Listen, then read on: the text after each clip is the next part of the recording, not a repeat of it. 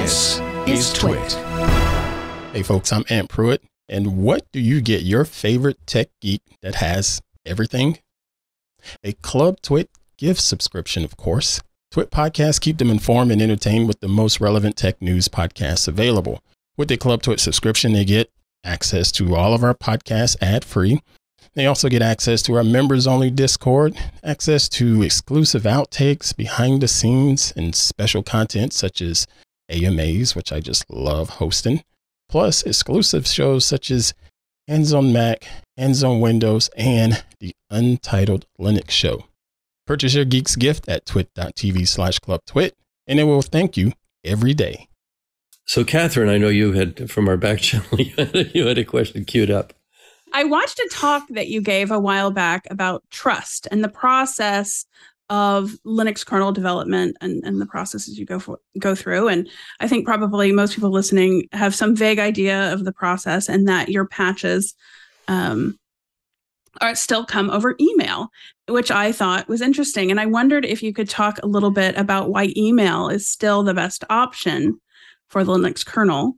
Um, and and I and actually, I, you know, I wondered if you could speak a little bit about this idea of trust and why the process is trustworthy because obviously it is i mean it's everywhere but but the, i i found um, the conversation around that pretty interesting Sure, I'll talk about. Um, I get a lot of flack for this, but email actually is the lowest common denominator that everybody in the world has access to.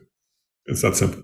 Um, it's also really, really good when English is not your native language, and we want to have people with English is not their native language contributing. And as someone who lives in another country, it's takes it's good to read a language text in another language, process it, take the time to do it back. I know some open source projects want IRC, face to face meetings and whatnot, and that puts that at a huge disadvantage for people that aren't don't know English really really well. So great, English our email lowest common denominator works everywhere, works for everyone, um, works remotely, um, store and forward, works everywhere else. We have one of our core security people lives in somewhere in the middle of Africa. I don't really know where. I think he moved countries and he was doing store and forward and it worked really great. And nobody really realized where he was. Um, it works great. And also plain text, HTML or no HTML email works great. It also provides a really good way to prove who you are. You can sign. We sign our patches and you can see any patch that I send out. It's cryptographically authenticated.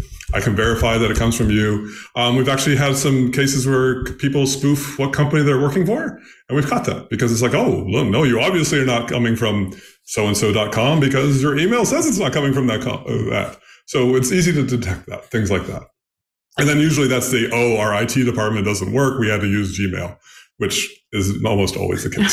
so, um, all the all the Linux companies usually have a Linux box in the corner where, so they can go around the Exchange server. Even Microsoft, who's a big contributor to Linux, has a Linux box in the corner, so it doesn't hit the Exchange server, and they can send their patches out. Um, so yeah, it, it, email works out really well. Um, the trust issue is interesting. Um, I have a friend who um, contributed to the kernel a while back, and he was like, he said uh, it was terrifying the first time he contributed to the kernel because all of a sudden the work that he's putting out there is going to be viewed by the world with his name on it. Right. And that's a good thing because you do really good work when your name is on something. You can't hide anonymously behind something. And you do better work because it's out there for everybody to see. And it's fine if you do things wrong, you get things buggy and whatnot. I mean, I joke, I've probably written more bugs than anybody else. Um, and that's, that's true. So, um, as long as you acknowledge your mistakes and learn from it and go forward, and that's great but you're out there in the world contributing with your name. As far as trust goes, I mean, we had the problem where the University of Minnesota tried to submit some patches anonymously and claimed that they were sending false or buggy, known buggy patches to us. And they wrote a paper up and said that we accepted them. It turns out we didn't accept them. And they accepted one of the patches, but because their patch that they tried to write was buggy, was actually correct. so um, they really didn't do a good job about that. Um, the ethics people ripped them, really, really got mad about that because they lied in their paper what they had done. Um, they lied to us. They, when they were caught, it was a whole big nightmare. And the big thing that I, we take, can take from that is open source software is more trustworthy, not necessarily because it's written better, but because you can go back in time and audit it. So what we did is we looked at all the contributions that that university had ever contributed to the kernel for forever. We audited everything. I had a whole bunch of interns at the moment, so we just let them loose and we audited everything we had.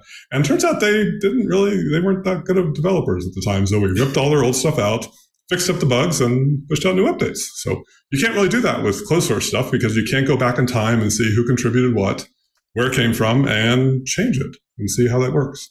Um, so since then, we've worked with the university and they have a, a, very core kernel developer working with them to try and fix their procedures and how they work together and how they work in the community and teach them how to do things. But another thing that came out of that was everybody was like, "Oh no, you need to have verification of who's contributing to the kernel, who's all that, who's doing all this work, who's who's doing all this crazy stuff." And the question is why? Why do we need that? Because your name's on there. We're not. We don't take anonymous things, known anonymous things. Um, and they're like, oh, well, we can't have people sneaking things in, sneaking bugs in. It's like, well, you do realize who writes the most bugs. Like, oh no, who writes the most bugs? I'm like, your core developers write the most bugs. so yeah. um, literally, it's just a matter of the odds. I mean, X, you say you write one one out of ten changes is bad, right? We're all human. So if I write a thousand changes, I wrote more bugs than somebody who just contributed two changes, right? Um, so the people you need to worry about the most are your core developers. so you need to put processes in place to catch everybody all the bugs. So I want my I want our testing tools and processes and infrastructure to catch all the bugs that I write because infamously I have written some pretty bad security bugs over the years um, and fixed them later. But it's, it's just the way it goes. We're all human. Um, so I want you to catch my bugs. I want our tools to catch our bugs. And if they're going to catch the bugs of the core developers, they'll catch the bugs that are submitted from any developer. And that's the key. You need to have the tooling and the infrastructure in place in order to catch the problems that anybody can create because we're all human. So we're all going to make mistakes. So just do that and then you're okay. And a lot of a lot of open source projects have that, which is key. And that's all you really need to know. You don't need to know verify who is doing what because your core people are the ones doing the most problems.